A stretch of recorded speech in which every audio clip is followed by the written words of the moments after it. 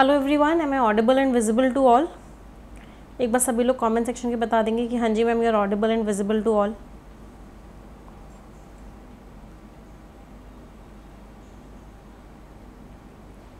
okay so hello everyone welcome to achiever series और आज हम बहुत बहुत इंपॉर्टेंट एरर डिटेक्शन के क्वेश्चंस करने वाले हैं। बहुत सारे ग्रामर के कॉन्सेप्ट्स को सीखने वाले हैं।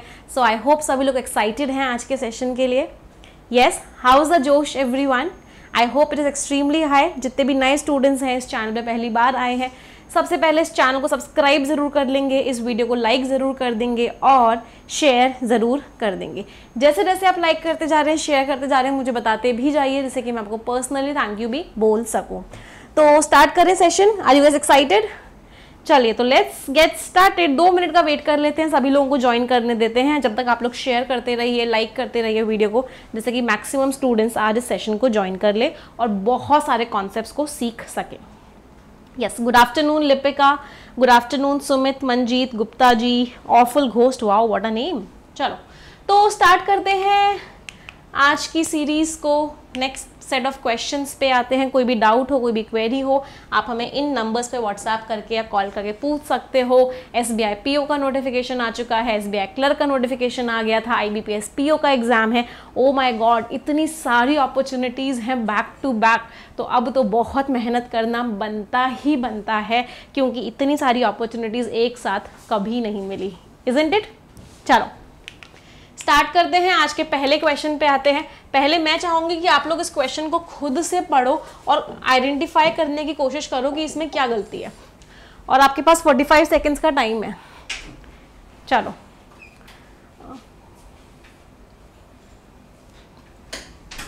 Read this sentence and try to identify which part is incorrect किस पार्ट में एरर है।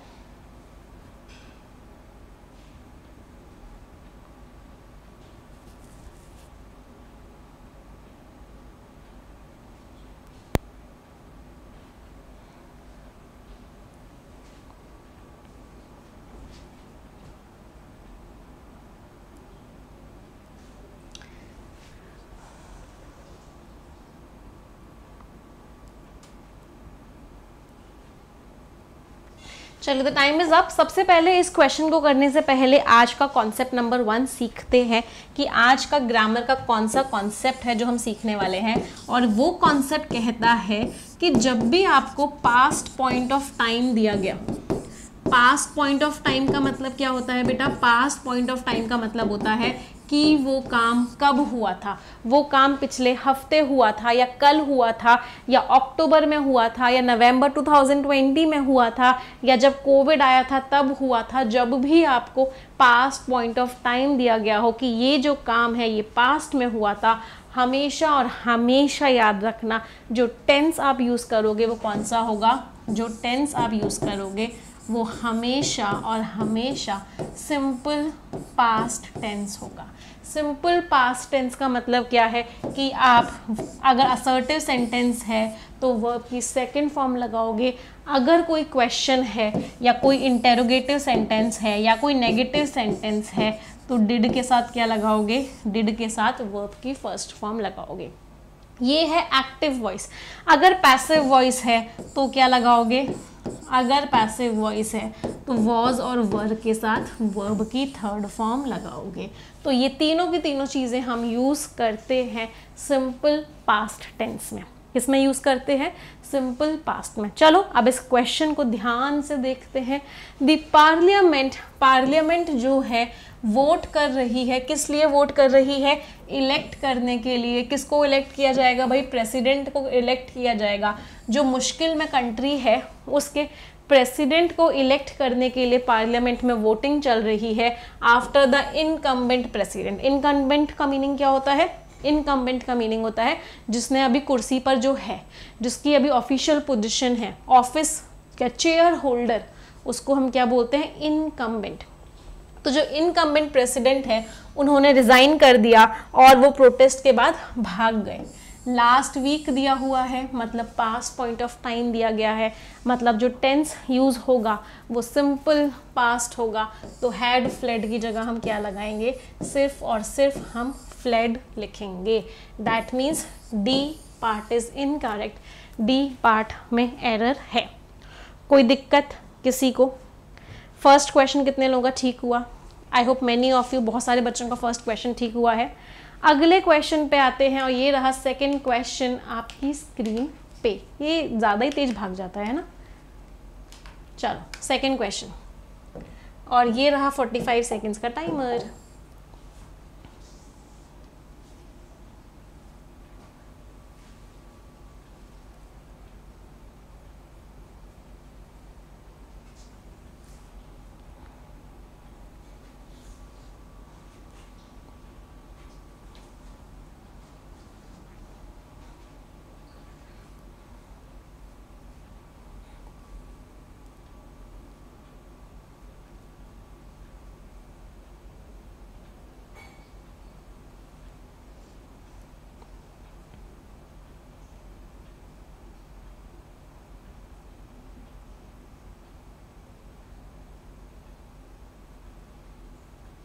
चल आगे बढ़ते हैं, इस क्वेश्चन को देखते हैं।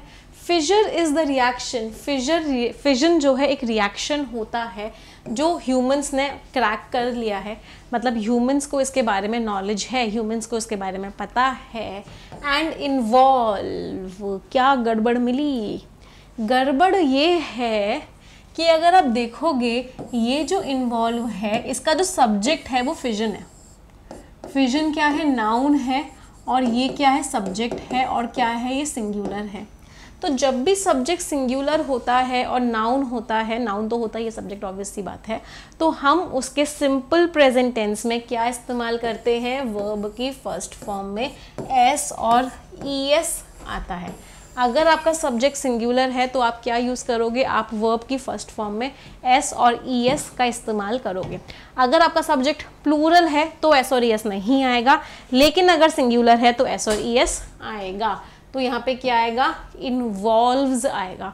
उसमें क्या इन्वॉल्व होता है? उसमें इन्वॉल्व होता है जो न्यूक्लियस होता है, बहुत बड़े एलिमेंट का, वो छोटे छोटों के लिए बट जाता है। So which part is incorrect किस पार्ट में एरर हो गया? सी पार्ट में एरर हो गया। इन्वॉल्व की जगह आप इन्वॉल्व्स लगाओगे। अब इसमें ना कुछ और कॉन्सेप्ट्स भी हैं, वो भी सीख लेते हैं, क्योंकि अल्टीमेटली हमारा मकसद है अपनी ग्रामर को स्ट्रॉन्ग बनाना इजेंट इट तो क्या दूसरा कॉन्सेप्ट समझ में आ रहा है कि आपके पास अगर ऑलरेडी लिखा हुआ हो येट लिखा हुआ हो सो फार सो फार का मीनिंग क्या होता है? अब तक लिखा हुआ हो नाउ लिखा हुआ हो जस्ट नाउ लिखा हुआ हो एवर या नेवर लिखा हुआ हो और एक्शन जो है कंप्लीटेड हो प्रेजेंट में तो जो आप टेंस यूज़ करते हो, वो कौन सा होता है? जो आप टेंस यूज़ करते हो, वो टेंस होता है present perfect present perfect tense का मतलब क्या होता है बेटा? आप हैज़ और हैव के साथ क्या लगाते हो? हैज़ और हैव के साथ वर्ब की थर्ड फॉर्म लगाते हो। तो अगर कोई भी शब्द इनमें से हो you will always and always use present perfect tense तो क्या आप इसको देख पा रहे हो? ऑलरेडी लिखा हुआ था, इसीलिए हमने जो टेंस यूज़ किया, वो क्या यूज़ किया था? इसीलिए हमने जो टेंस यूज़ किया था, वो प्रेजेंट परफेक्ट था। कोई दिक्कत किसी को इस कॉन्सेप्ट में? बेटा, ये जो एरर डिटेक्शन की सीरीज़ चल रही है, आप चाहे बैंकिंग का पेपर दो एसएससी सीजीएल दो सीएचएसएल दो स्टेनो का पेपर दो सीपीओ का पेपर दो, जिसमें भी एरर आता है, जिसमें भी ग्रामर से सवाल आते हैं, आपको बहुत ज़्यादा हेल्प होगी। ठीक है?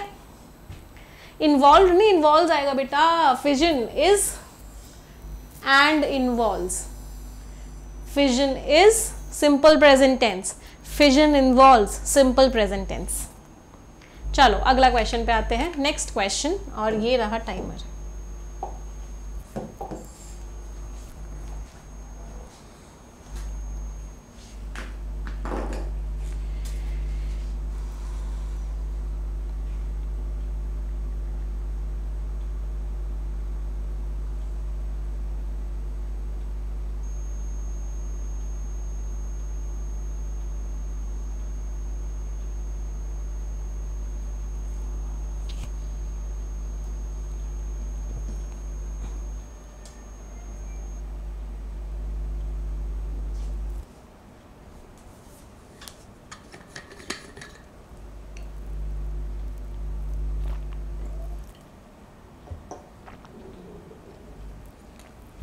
चलिए द टाइम इज़ अप समय खत्म हो चुका है। अगले कॉन्सेप्ट पे आते हैं। अगला कॉन्सेप्ट बेटा क्या है? ये जो शब्द होता है ना इंफॉर्मेशन ये जो शब्द होता है ना advice news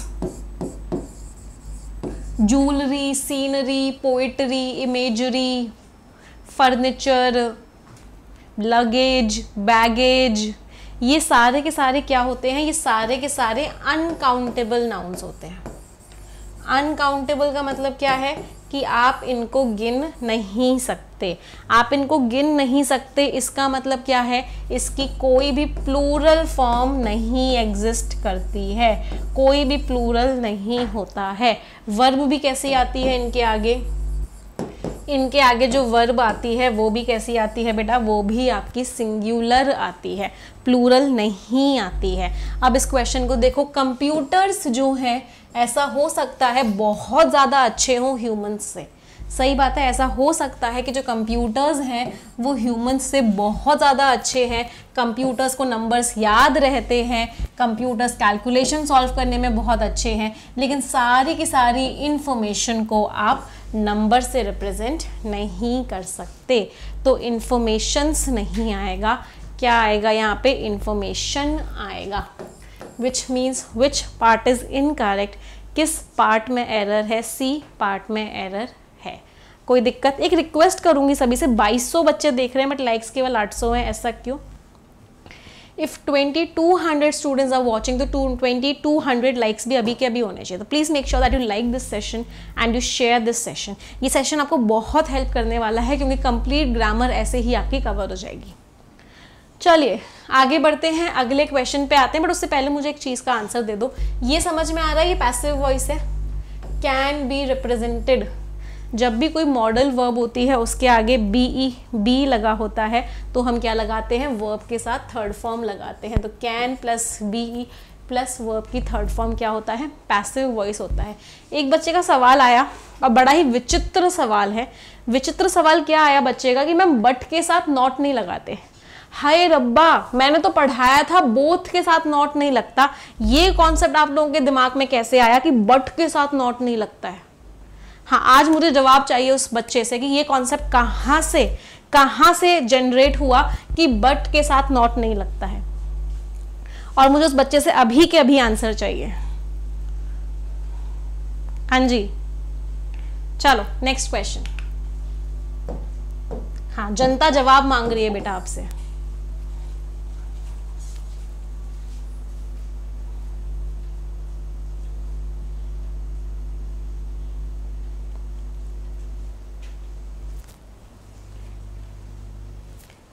अगला सवाल।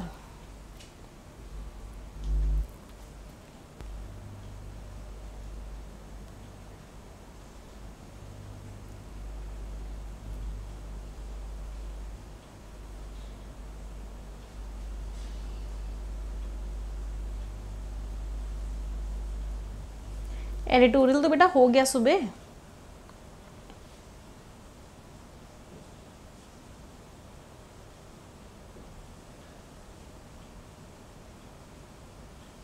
चलो टाइम इज़ अप इस क्वेश्चन को देखते हैं। इस क्वेश्चन का कॉन्सेप्ट अभी हमने कुछ दिन पहले भी पढ़ा था। इस क्वेश्चन का कॉन्सेप्ट क्या है कि जब दो लोगों की बात हो, आप और आपके साथ वाले की बात हो, आप और आपके पास वाले की बात हो, सिर्फ़ दो ही लोग उसमें इन्वॉल्व हो तो उस केस में हम क्या लगाते हैं? उस केस में हम ईच अदर लगाते हैं। दो लोगों की बात होती है तो क्या लगता है? ईच अदर लगता है। Ram and Shyam like each other Sita and Gita like each other gender में थोड़ा सा दिक्कत हो गया ना उसको थोड़ा सा चेंज कर देते हैं। Shyam and Gita like each other तो जब भी दो लोगों की बात हो ईच अदर लगेगा। जब भी दो से ज़्यादा लोगों की बात हो, क्या लगेगा? Right right. जब भी दो से ज़्यादा लोगों की बात होती है तो हम वन अनदर लगाते हैं। Ram, Shyam Ghanshyam Radhe Shyam and every one spend time with one another तो आपके ब्रेन में इतने सारे न्यूरॉन्स हैं जो आपस में लगातार बात करते रहते हैं, बहुत सारे हैं, दो से ज़्यादा हैं तो हम यहाँ पे क्या लिखेंगे? वन अनदर लिखेंगे।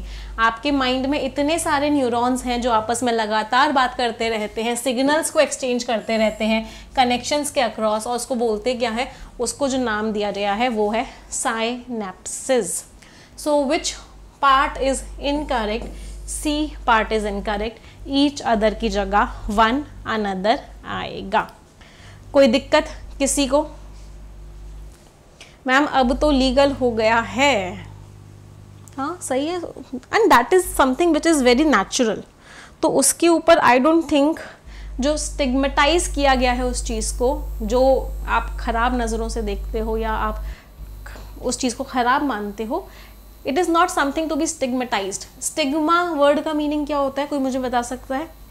इसके ऊपर आपका डिस्क्रिप्टिव राइटिंग का टॉपिक भी आ सकता है। It is not something which should be stigmatize stigmatize means किसी चीज़ को कलंकित कर देना, किसी चीज़ को खराब नज़रों से देखना कि वो गलत है।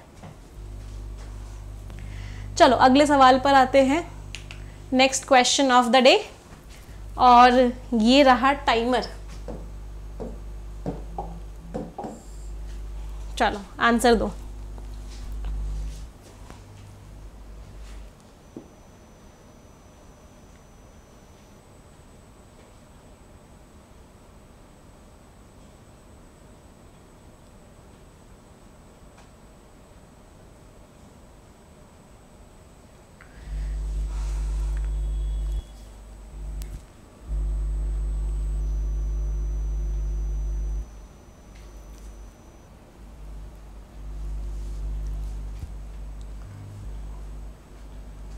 जितने भी नए बच्चे हैं जो ज्वाइन करते जा रहे हैं, वो चैनल को सब्सक्राइब ज़रूर करते हुए चलेंगे।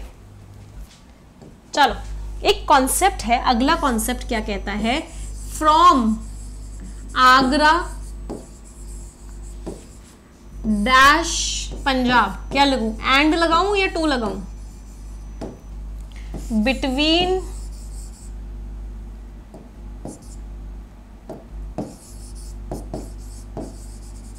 Agra dash Punjab. तो अगर हम फ्रॉम लिखते हैं तो क्या बोलते हैं? फ्रॉम आगरा टू पंजाब, आगरा से पंजाब। तो फ्रॉम के साथ हम क्या लगाते हैं? टी ओ टू लगाते हैं। बिटवीन आगरा एंड पंजाब, आगरा और पंजाब के बीच में तो बिटवीन के साथ हम क्या लगाते हैं? बिटवीन के साथ हम एंड लगाते हैं। क्या ये कॉन्सेप्ट क्लियर है? चलो, अब ये कॉन्सेप्ट क्लियर है तो इस सवाल को देखते हैं। इन रिसेंट ईयर्स अभी के सालों में ग्लोबल सप्लाई चेन्स ने बहुत ज़्यादा डिस्ट्रप्शन फेस किया है। मतलब चीज़ें बहुत उथल पुथल हो गई हैं, बहुत सारे कारणों की वजह से। पहला कारण क्या था कि एक ही शिप ने पूरी की पूरी स्वेस कैनाल को ब्लॉक कर दिया और दूसरा कारण क्या था? दूसरा कारण था कि कोविड 19 पैंडमिक का पूरे के पूरे विश्व भर पे बहुत ज़्यादा इम्पैक्ट पड़ा था। सो so, किस पार्ट में एरर हो गया? डी पार्ट में एरर हो गया. एंड की जगह क्या आएगा? एंड की जगह टी ओ टू आएगा. कोई दिक्कत? इससे लेकर इस तक बहुत सारी चीज़ें हुई जो इंटरनेशनली हुई जिसकी वजह से जो ग्लोबल सप्लाई चेन था जो सामान आने का जो पूरा का पूरा सिस्टम था वो खराब हो गया. Clear between 8 A M and 9 A M सही है? तुम कब अवेलेबल हो? वेन आर यू अवेलेबल आपने बोला I am available from seven P M to eight P M या फिर I am available between seven P M and eight P M चलो, अगले सवाल पर आते हैं। Next question on your screen और ये रहा टाइमर सभी की स्क्रीन पे।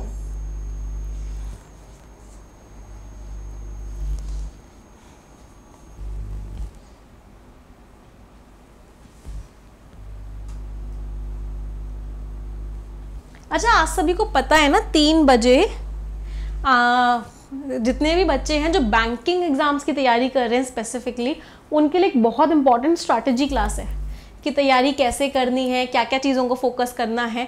तो वो सभी स्टूडेंट्स मुझे तीन बजे मिलेंगे इसी चैनल पे। बहुत ज़रूरी क्लास है बहुत इंपॉर्टेंट क्लास है। वो क्लास किसी की भी मिस नहीं होनी चाहिए। तीन बजे जो इसी चैनल पे क्लास है।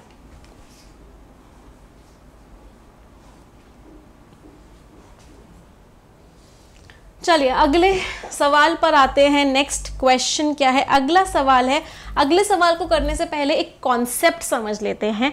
कॉन्सेप्ट ये है कि जब भी सिंस और फॉर जब भी सिंस और फॉर टाइम के बारे में बात करते हैं। मैं बैंकिंग एग्ज़ाम की एसएससी एग्ज़ाम की तैयारी कर रहा हूँ, जब से घर वालों ने घर से बाहर निकाल दिया है। तो जब भी सिंस एंड फॉर होते हैं और ये टाइम की बात करते हैं, हमेशा याद रखना, जो एक्शन जिसके लिए बात करते हैं, वो या तो परफेक्ट होता है, या फिर क्या होता है? परफेक्ट कॉन्टिन्यूस होता है। यही दोनों टेंसेज हैं जिनके बारे में ये बात कर सकते हैं। इसके अलावा ये किसी और टेंस की बात नहीं कर सकते। अब एक खास बात और आती है इस कॉन्सेप्ट में, और वो खास बात क्या है बेटा? वो खास बात है कि अगर सिंस के आगे कोई टेंस है, जब से मैंने तुमको देखा, जब से मैं मुझे घर से बाहर निकाला गया जब से अपने पैरों पर खड़ा हुआ हूँ, जब से ज़िंदगी के अंदर एक जोश आया है, जब से ब्रेकअप हुआ है, या जब से पैचअप हुआ है तो जब से कि आगे अगर कोई और एक्शन है तो उसका जो टेंस आता है वो क्या आता है? उसका जो टेंस आता है वो सिंपल पास्ट होता है। क्या ये कॉन्सेप्ट सभी को क्लियर है? इज़ दिस कॉन्सेप्ट क्लियर नहीं मैम जब से दिल टूटा है दिल टूट गया है, बहुत अच्छी बात है। अब कम से कम पढ़ाई पे फोकस तो आएगा। तो इसमें कोई ख़राब बात नहीं है, दिल टूटा है तो। चलो तो टेंस कौन सा आएगा? Tense will be simple past तो since the war in Ukraine जब से यूक्रेन पे लड़ाई हुई है, जब से यूक्रेन पे लड़ाई हुई है तो टेंस कौन सा आएगा? जब से यूक्रेन पे लड़ाई हुई है सिंपल पास्ट टेंस आएगा। इसका मतलब क्या है? वर्ब की सेकेंड फॉर्म आएगी। इसका मतलब क्या है, यहाँ पे क्या आएगा? बिगैन आएगा। तो जब से यूक्रेन पे लड़ाई हुई है, जब से क्रूड ऑयल का प्राइस बढ़ना शुरू हुआ है, तब से हमारा बेचारा रुपया की वैल्यू कम होती जा रही है। डॉलर के अगेंस्ट रुपी की वैल्यू तब से कम होती जा रही है। पहले जो है सेवेंटी रुपीज़ के आसपास का था और अब एट्टी रुपीज़ के आसपास का हो चुका है। तो रुपी की वैल्यू कम हो रही है डॉलर की वैल्यू बढ़ रही है। दोनों की आपस के रिस्पेक्ट में रुपी डेप्रिशिएट कर रहा है। तो आंसर क्या हो गया? Which part is incorrect A part is incorrect has begun की जगह हम क्या लगाएँगे? बिगैन लगाएँगे। कोई दिक्कत? किसी को भी? Anyone any problem till here वैसे आप लोग ना बड़ी कंजूसी करते हो। मैंने देखा है, तीन हज़ार बच्चे देख रहे हैं, बट सोलह सौ सोलह सौ ये likes you all are what क्या वर्ड यूज़ कर सकती हूँ इंग्लिश का? माइजर निगर्ड पार्सिमोनियस तीनों शब्दों का मीनिंग क्या होता है? माइजर निगर्ड पार्सिमोनियस ये तीनों शब्दों का मीनिंग आप मुझे भी कमेंट सेक्शन में बताएँगे। चलो, अगले क्वेश्चन पे आते हैं। और ये रहा टाइमर सभी के लिए।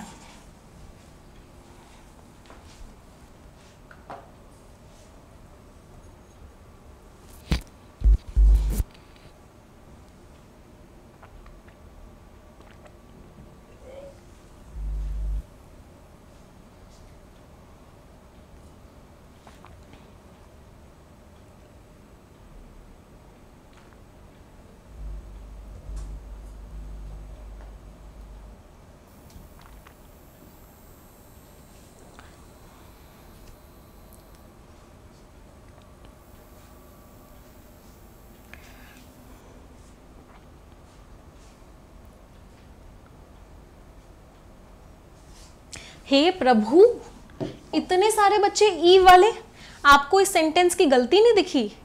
ई कैसे बोल रहे हैं इतने सारे बच्चे? कॉन्सेप्ट याद करो कॉन्सेप्ट क्या कहता है? कॉन्सेप्ट कहता है कि जब भी एंटर वर्ड लिखा हुआ होगा, और अगर बाहर से अंदर जाने की बात हो रही होगी, किसी चीज़ में अंदर जाने की बात हो रही होगी, किसी चीज़ में इन्वॉल्व होने की बात हो रही होगी तो एंटर के आगे हम कोई भी प्रपोजिशन नहीं लगाते हैं। We do not use any any any preposition with enter. जब भी enter word हो और किसी चीज़ में इन्वॉल्व हो किसी चीज़ में इन्वॉल्व होने की बात हो रही है, किसी चीज़ में बाहर से अंदर जाने की बात हो रही है, कभी भी इन इनटू नहीं आ सकता। हाँ एंटर इनटू आता है, लेकिन उसका मीनिंग बिल्कुल ही अलग होता है और मीनिंग क्या होता है? किसी चीज़ को साइन करना। किसी अग्रीमेंट को, किसी ट्रीटी को साइन करना एंटर इनटू तब आता है। कैसे आप लोगों ने ई बोला बोला? मैम, इतनी देर हो गई थी ई वाला कोई आ नहीं रहा था तो इसको देख के लगा कि ई होगा। दिल तोड़ दिया आज आपने मेरा। मतलब गलत को गलत नहीं बोला आपने। जब प्लास्टिक जो है इन्वायरमेंट में रहता है बहुत लंबे टाइम तक तो जब प्लास्टिक इन्वायरमेंट बहुत लंबे टाइम तक रहता है और डिके नहीं करता, ख़त्म नहीं होता, वो माइक्रो प्लास्टिक्स में कन्वर्ट हो जाता है। सबसे पहले हमारी फ़ूड सोर्सेज में आता है, फिर उसके बाद ह्यूमन बॉडी में आता है और ये जो चीज़ है, ये हद से ज़्यादा हार्मफुल होती है, हद से ज़्यादा नुकसानदायक होती है। So which part is incorrect C part is incorrect enter के आगे इन या इनटू नहीं आएगा। कोई दिक्कत इस क्वेश्चन में? एनी वन कोई प्रॉब्लम प्लीज़ गाइस मुझे ये मैम वाली ड्रेस चाहिए तो प्लीज़ मैम को बोलो कि मुझे बता दें ये ड्रेस कहाँ से ली। बेटा, क्या ही बोलूँ मैं इस पर ड्रेस से ज़्यादा फोकस कंटेंट पे कर लोगे तो भला हो जाएगा आपका। एक बच्चे का डाउट क्या है? पीरियड्स ऑफ़ टाइम सही है? हाँ लॉन्ग पीरियड्स ऑफ़ टाइम मतलब दो घंटे, तीन घंटे, दस दिन, पंद्रह दिन, बीस दिन, ये सारे के सारे क्या है? पीरियड्स ऑफ़ टाइम है।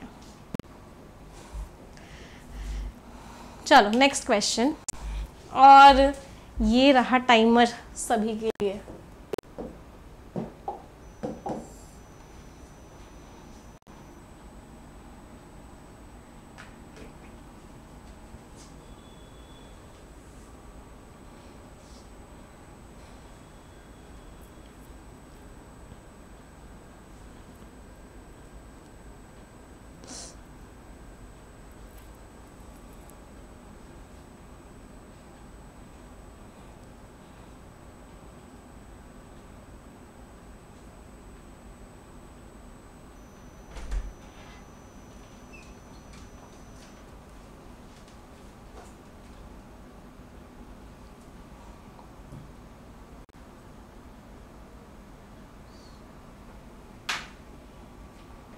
चलो the time is up let's look at this question now अब इस क्वेश्चन को देखते हैं और एक चीज़ मैं देख लेती हूँ।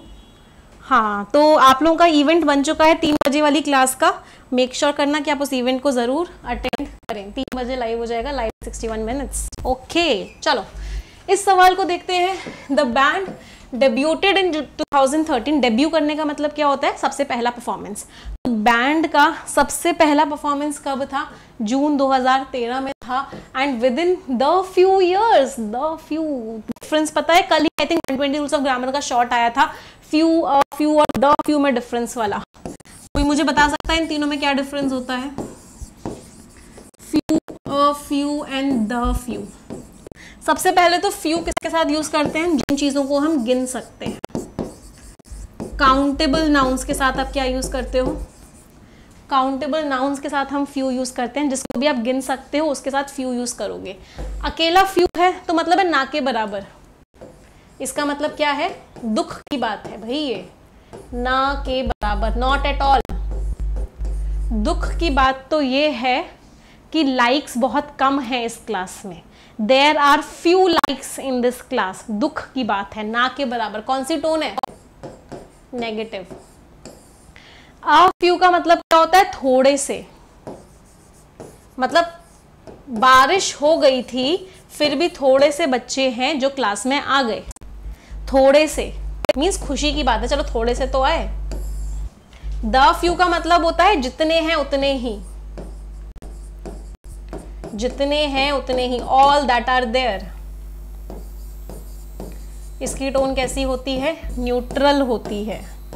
The tone is what the tone is neutral जैसे फ्यू है, ऐसे ही लिटिल होता है बट लिटिल को हम किसके लिए यूज़ करते हैं? वॉइस का इशू आ रहा है. अब ठीक है बेटा? ऐसे ही लिटिल को यूज़ करते हैं बट लिटिल को किसके लिए यूज़ करते हैं? लिटिल को अनकाउंटेबल नाउन्स के साथ यूज़ करते हैं। तो बैंड ने डिब्यू किया जून 2013 में और कुछ ही सालों में वर्ल्ड वाइड सेंसेशन बन गई। कुछ ही सालों में, थोड़े से सालों में क्या बन गई? पूरी दुनिया को पकड़ लिया, पूरी दुनिया तक पहुँच गई। And within few years ना के बराबर साल में ही बहुत ज़्यादा आगे बढ़ गई। तो विद इन फ्यू ईयर्स भी लिख सकते हो within a few years भी लिख सकते हो, थोड़े सालों में ना के बराबर बढ़ गई। लेकिन within the few years नहीं आ सकता। पूरी दुनिया में फैल गई अपनी कैची हिट्स के साथ, अपने कैंपेन्स के साथ, जो ग्रुप ने बोला किसके ऊपर एम्ड थे, हम क्यों गाना गाते थे? क्योंकि हम यूथ को एम्पावर करना चाहते थे। हम यूथ को और स्ट्रॉन्ग बनाना चाहते थे। कोई दिक्कत किसी को? समझ में आया ये क्वेश्चन चलो, अगले क्वेश्चन पे आ जाते हैं। नेक्स्ट क्वेश्चन आपकी स्क्रीन पे ये रहा और ये रहा टाइमर सभी के पास।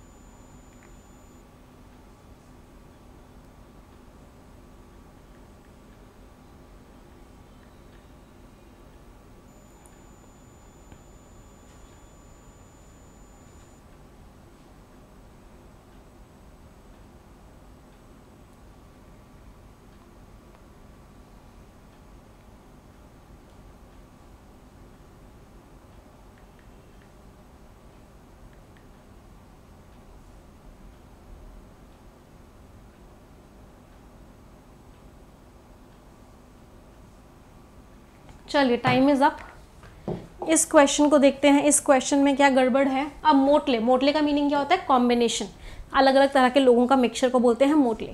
तो अब motley group of art enthusiast amateurs कौन होते हैं? जिनका काम नहीं होता है, सिर्फ़ इंजॉय करने के लिए किसी काम को करते हैं। उनको बोलते हैं amateurs hobby and practising artist जो सिर्फ़ हॉबी की तरह करते हैं प्रैक्टिस कर रहे होते हैं, और जो स्टूडेंट्स हैं, वो हर हफ़्ते मिलते हैं। हमेशा याद रखना ईच एवरी ईदर नीदर अगला कॉन्सेप्ट क्या है? 120 rules of grammar rule number one each either every neither इन सब के बाद डायरेक्टली कोई नाउन आता है तो वो हमेशा क्या आता है? हमेशा सिंगुलर नाउन होता है। क्योंकि हम हर एक की बात कर रहे हैं, हम प्रत्येक की बात कर रहे हैं, और जो वर्ब आती है, वो भी कैसी होती है? वो भी सिंगुलर ही होती है। ईच ईदर एवरी नीदर के आगे कभी भी आप सिंगुलर वर्ब ही लगाओगे हमेशा, कभी भी प्लूरल वर्ब नहीं लगाओगे। हाँ अगर इनके बीच में ऑफ़ लग जाए एवरी के आगे तो ऑफ़ नहीं लगता, लेकिन अगर ईच के आगे ऑफ़ लग जाए, या ईदर के आगे ऑफ़ लग जाए, या नीदर के आगे ऑफ़ लग जाए तो आप उस केस में प्लूरल नाउन लगाते हो। अगर ऑफ़ नहीं लगा हुआ है तो जो नाउन होता है, वो हमेशा सिंगुलर ही होता है। तो एवरी वीकेंड्स नहीं आएगा एवरी वीकेंड आएगा। वो हर हफ़्ते मिलते हैं इंटरेक्ट करने के लिए, लिखने के लिए और स्केचेस को समझने के लिए अपने खुद के नज़रिए से। तो C part is incorrect I hope 120 rules of grammar तो सबने देखे हैं ना? 120 रूल्स ऑफ़ ग्रामर बहुत इंपॉर्टेंट है। 120 रूल्स ऑफ़ ग्रामर कर लोगे ग्रामर की टेंशन ही खत्म है। तो make sure that you complete your 120 rules of grammar as soon as possible चलो, अगला क्वेश्चन होमवर्क क्वेश्चन है, और आई होप सभी को पता है, जो बच्चे होमवर्क में आंसर्स देते हैं, उनमें से कुछ बच्चों को सिलेक्ट करके टीम बुक्स भिजवाती है। तो कल तो मैं, एक तो मैं कल वाले विनर्स का नाम बता देती हूँ। वो बच्चे मुझे मेल कर देंगे, एक स्क्रीनशॉट भेज देंगे कि उन्होंने ही वो कमेंट किया था। तो कल वाले विनर्स का हमारा नाम है श्रुति गर्ग एंड गौरव कुमार। तो श्रुति गर्ग एंड गौरव कुमार मुझे एक स्क्रीनशॉट भी भेज देना कि वो कमेंट आप ही ने किया था टीम आपको कांटेक्ट करके आपकी बुक्स भिजवा देगी। ये आज का होमवर्क क्वेश्चन है। इस क्वेश्चन को ध्यान से देखो। सभी लोग कॉमेंट सेक्शन में बताएँगे कि किस पार्ट में एरर है। विच पार्ट इज़ इनकरेक्ट इसमें आपको बताना है। ये होमवर्क क्वेश्चन है आज का। एक ये बुक ले लेना भाई प्रैक्टिस के लिए। 120 रूल्स ऑफ़ ग्रामर वीडियो देख सकते हो तो बहुत अच्छा है वीडियो नहीं देख सकते हो। तो इस बुक में आपको जो मैं पढ़ा रही हूँ, सारे के सारे कॉन्सेप्ट सारे के सारे क्वेश्चन सब चीज़ आपको इस बुक में मिल जाएगी। तो इंग्लिश विद निमिशा बंसल करके टेलीग्राम चैनल है। Join this Telegram channel you will get all the PDF सारे के सारे पीडीएफ आपको मिल जाएँगे। चलो। तो आज का सेशन एंड करते हैं। तीन सेंटेंसेस सभी लोग मिलके बोलेंगे। One two three and go English is a very easy language. I am very good at English and I'll definitely get my dream job. Thank you everyone. Bye bye. Take care. Stay blessed and tada.